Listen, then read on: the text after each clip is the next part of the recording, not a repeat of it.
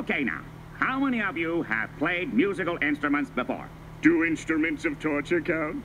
No. Is mayonnaise an instrument? No, Patrick, mayonnaise is not an instrument.